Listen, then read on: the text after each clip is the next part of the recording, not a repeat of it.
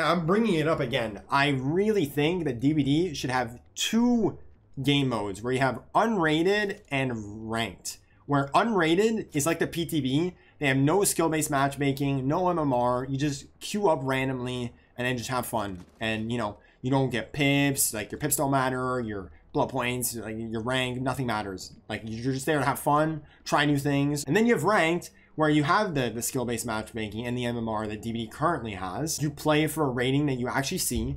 And instead of having this blood point system, you could keep the, the blood point ranking system, like the grade system, you keep that for for ranked and unrated, right? Where they share that. So, you know, if you wanted to grind blood points, you could just do it on unrated. But then you introduce ranks again, and then you you play for ranked. You play for like an actual MMR that you literally see. So if you actually care about your MMR and you're trying to like play competitive, you can do that. I think it's so fun.